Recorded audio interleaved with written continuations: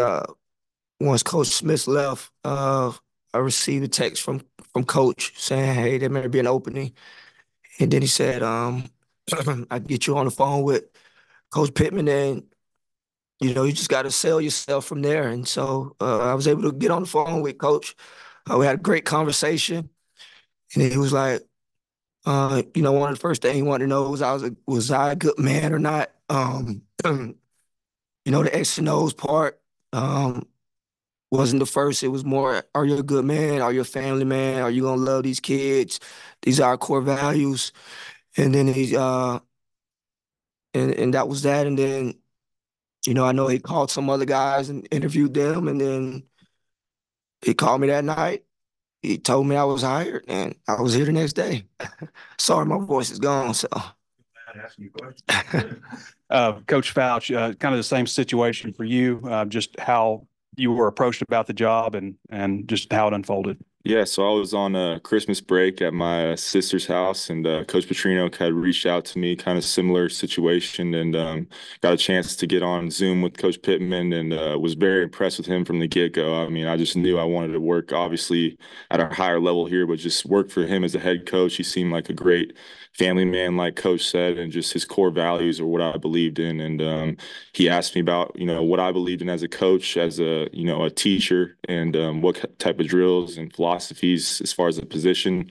But like he said, it was a lot more just getting to know me and who I was as a person, and that's what I respected about being, you know, hired by Coach Pittman. Both of you guys have backgrounds with Coach Petrino, but at different spots. Just curious, uh, your thoughts on on him as a coach, and um, just uh, wanting to follow him and and work under him.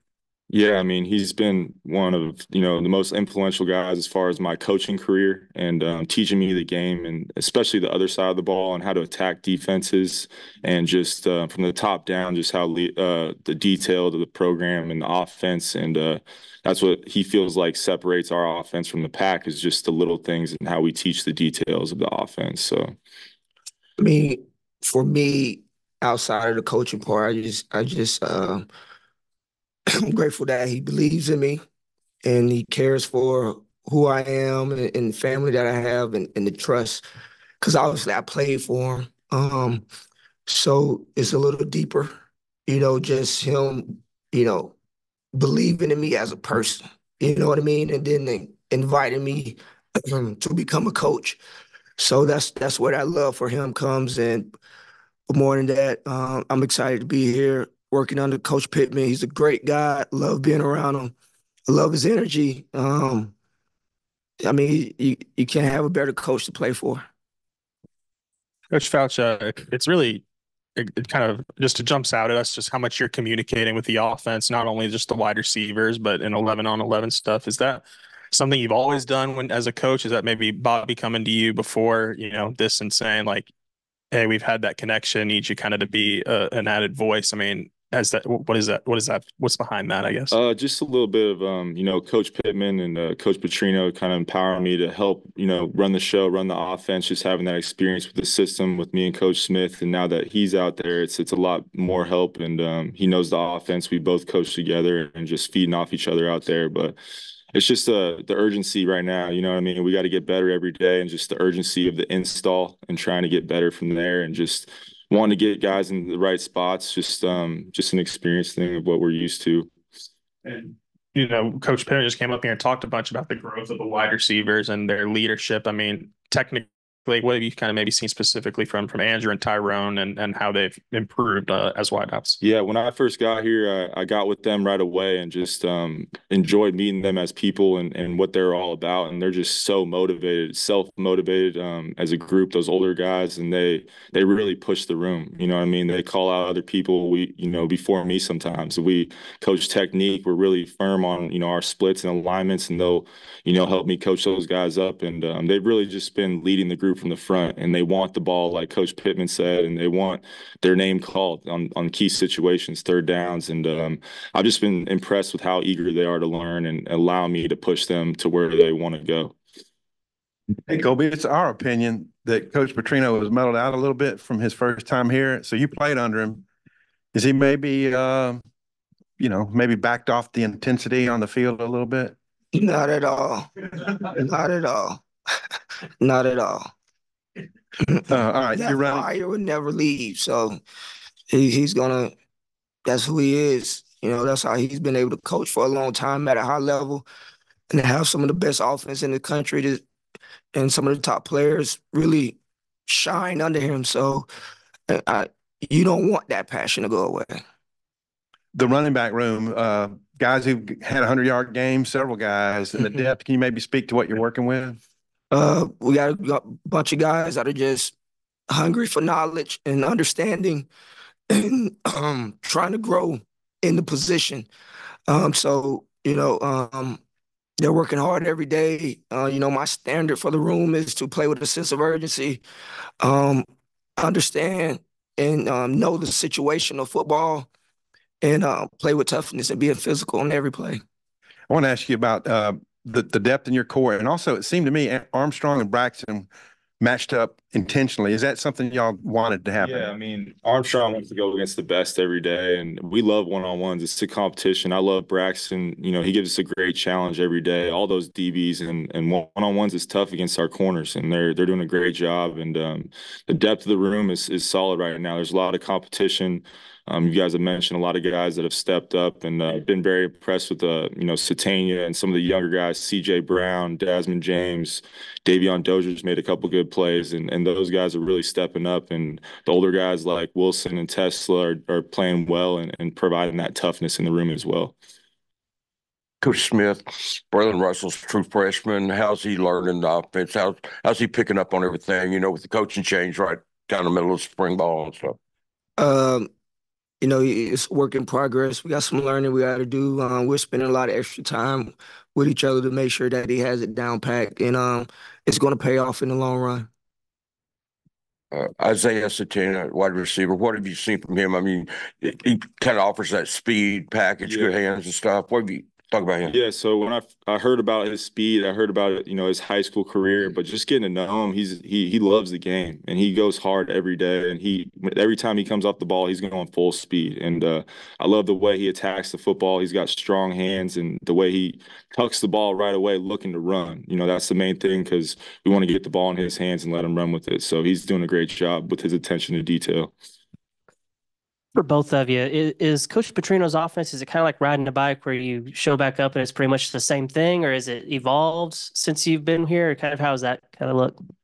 It's it's definitely evolved, you know, since Coach Smith played in it, but the same the same plays are still there, but just some new stuff's been added over the years. So, you know, we just all, you know, keep growing with it, but we always stick to the same um, base of the offense. But there's always new stuff that we love to put in. So I mean, just how has it changed, you know, maybe since when you played and then, you know, to now? Uh, more so the how we uh call plays. You know, some of the it's more of a um word system more than the digit system like it was in the past. So that's the learning I have to catch up on and grow in and just adapt so I can be running smoothly come fall. Coach Smith, coming from the NFL back to college, has there been an adjustment period at all, or has it been pretty smooth for you? Uh, It's been pretty smooth. Just um, I get here early in the morning and I leave late at night. So same same schedule. And with the with the basketballs today, when you were working with the guys, could you maybe just talk through that drill? It looked pretty cool. Yeah, we call that. I usually have soccer balls, but we didn't have them available today. But what we're doing is we're working on closing the space between the uh, blitzer and myself, and then from there we're working that we we're mirroring the defender so that we're keeping a get a great base where we're staying inside out. So that's just a starting point of the of, of blitz pickup uh, pass pro. So that was the beginning stage of it. And then, Coach Fouch, you might not work directly with the tight ends a lot, but you know, some a really deep tight end room. Could you maybe talk about those guys? Yeah, I wish I worked with them a little more. They're pretty talented receivers, but uh, I would love to know. But um, they've uh, they've done a great job. They come to one on ones a lot, and they've done a great job understanding the routes. We do a couple type of option routes, stuff like that, and they've done a great job separating at the top of the route. And um, you know, Luke and Gums are very talented, and uh, Andreas has brought some spark, and um, Shamar is a great receiver as well. They really all you know have a lot of value in the pass game. Uh, Coach Smith, uh, you mentioned pass pro a little bit there. Last year, Arkansas gave up 47 sacks. Uh, running backs gave up, I mean, everybody punched the offensive line, but running backs gave up a lot. I know Coach Petrino used to say, if you can't pass pro, you can't play for me. Correct. Um, what do you, uh, what are you guys doing aside from that, uh, to shore things up? And also wanted to ask you about Braylon, because you mentioned things to work on with him and usually freshman running backs, that's one of the, the big things that you gotta, to fix with them. I mean, you just got to train it, and when you train it, you, you put them in a situation where they can apply what they've been coaching, and then they got to do it. So they will do it because they want to play the game. So I don't think we'll have any issues with that. Uh, and Coach Fouch, uh, Tyrone Broden, I mentioned to Coach uh, Pittman that he only averaged like seven point three yards a catch, being that big and that fast. Um, what are your thoughts on on what you've got um, in him as a weapon? Very impressed. I mean, just his ability, his position flexibility. We've been putting him inside in the slot a little bit while he's normally an outside receiver in our offense, but just his ability to play in the slot and get mismatches on nickels or linebackers and hit slot fades and things like that and just get him over the middle. It's just such a big frame, easy throw for Taylen and the quarterbacks just to put the ball on him. And um, he's just been impressive to me with his ability to play in the slot as well and just his releases and foot quickness. There's a lot of taller guys. They don't have, you know, the quickest feet, but just he has quick feet like Sategna and he's six six. You know what I mean? So it's just been impressive. It's just his talent overall. I wanted to ask both of you also, um, Coach Smith, you coming from the NFL and things have changed in college football in terms of NIL and stuff like that. I don't know if you've had a chance to really jump in just yet with recruiting, but you have, and you're coming from Missouri State, so different Mhm. kind of recruiting up on this level. Just curious on your thoughts on the landscape of recruiting now with with NIL and stuff. Yeah, I mean, it's definitely changing. We have to adapt and to the times, you know, some of us, you know, I was recruited the old school way and and that's what I kind of believed in before I got here, but now you have to adapt and adjust to what the guys are looking for, what they're offered and uh really just trying to go after the best receivers we can get. You know, I don't care what it takes, but we're going to try and work around things and just get the best situation, the best player we can. Um, one thing I learned from Coach Brian Flores is you do business as business is being done. So we'll adapt to the situation and we'll make it work for us. I had a question about the scrimmage on Saturday. Just what do you guys hope to see from your group Saturday? Hoping to see consistency, like Coach Pittman said, just in the pass game. Want to have a cleaner day um, and go make some plays, get the ball in the end zone for sure, and um, get just get our confidence going on offense and get the flow and get in and out of the huddle. You know, we're still trying to get used to different periods of tempo, fastballs, huddling, and uh, just operation things. Want to see go well. I'm looking for big plays, um, explosive runs, uh, it's just explosive plays from from the back. So, you know, 15 yard runs, 20 yard receiving runs, um, plays, um, standing up in the pocket and protecting when we get blitzes, and um, just being situ- situational sound in those situations. And you know, at the end of the day, I want them having fun. Well, appreciate you. Sorry. Thank you guys.